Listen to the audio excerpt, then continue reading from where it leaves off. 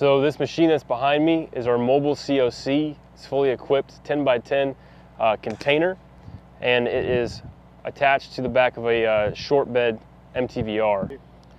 So this allows us to effectively command and control our out, uh, exterior logistics nodes um, and we're able to do that effectively with all the kind of assets that it contains all in one small package. So the previous method, a method that is most commonly used is to set up uh, a large amount of tent or tentage and with that you're, you're, you're looking at more manpower, more uh, cargo space to haul that tent.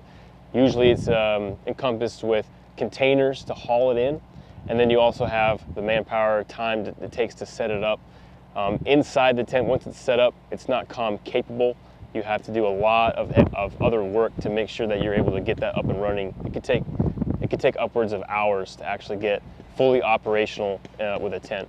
So this allows us to roll into a position, um, start up our generator, be our power source, flip on the switch, and we're able to effectively communicate to every logistics node that we need to and uh, provide tasking for them as well.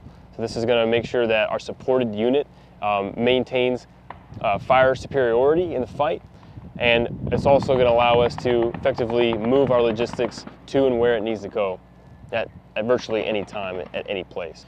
It's important because we want to make ourselves a hard target.